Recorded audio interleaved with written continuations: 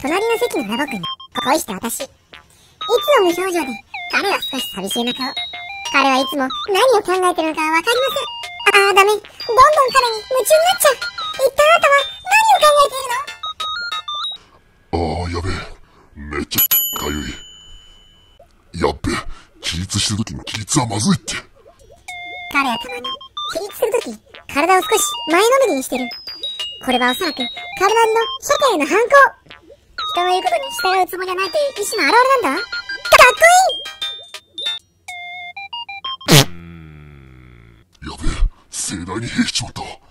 絶対隣の子にも音聞こえちまった。うわあ、どんな顔してんだろう。な、なになんて笑顔でこっち見てきやがる。さ、さては、俺がヘロコイことをクラスの目にふらし、俺を笑い物にするってこんなか。さ、最悪だ。グッバイ、俺の青春。こんにちは、ヘコキ高校生。お腹すいたなえ、今ってまさか？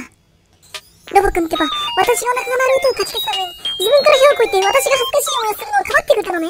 なんてすっちゃな、かっこいいああ、授業つまんねえな。そうだ。こんな時は、クラスの可愛い子と、いろんなシチュエーションでやることを妄想しよう。ロボくん、今日も授業をしっかり聞いてかっこいい。普段は不真面目なところもあるけど、やるときはやるのね。くそ、息子のポジションが最悪だ。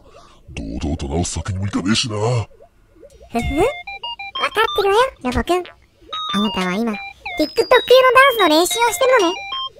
トレンドに乗りたいというあなたのその夢、応援してあ